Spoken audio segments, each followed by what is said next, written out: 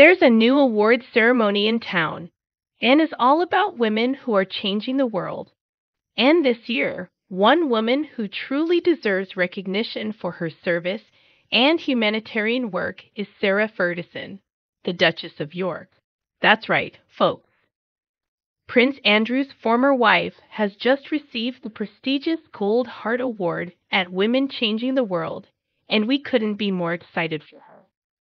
Fergie, as she is affectionately known by her fans, took to Instagram to share the exciting news with her followers.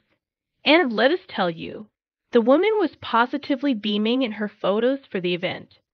Dressed in a stunning gown that showed off her enviable figure, she looked every bit the award winning humanitarian that she is. But what exactly is the Gold Heart Award, you ask?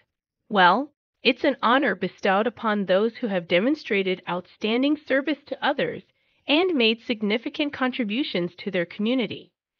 And in Fergie's case, it's well deserved.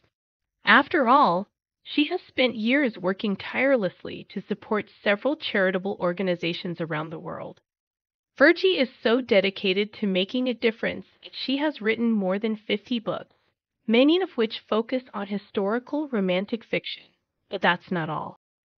She's also a vocal advocate for children's causes, having worked with organizations like Children in Crisis and Teenage Cancer Trust.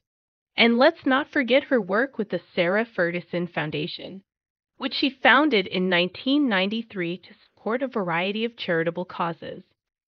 So it's no surprise that Fergie was chosen to receive the Golden Heart Award at Women Changing the World. And from the sound of it, she had a fantastic time at the ceremony. In her Instagram post, she gushed about being surrounded by like minded women who share her passion for making a difference in the world. And we have to say we love seeing women support and uplift each other like this, of course.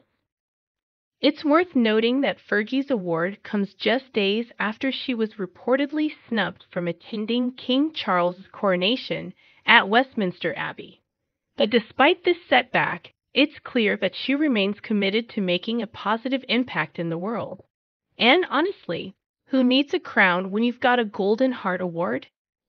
As for where Fergie is living these days, she is still residing with her ex husband, Prince Andrew, in Windsor. And let's not forget about the late Queen's Corgis, who we imagine are quite happy having her around. But while her living situation may be unconventional, there's no denying Fergie is living her best life. In conclusion, we are thrilled to see Sarah Ferguson receive the Golden Heart Award at Women Changing the World. She is a true inspiration to us all, and we can't wait to see what she does next. Who knows, maybe next year she'll receive an award for Best Dressed at an Award Ceremony. After all, she looks stunning in that gown.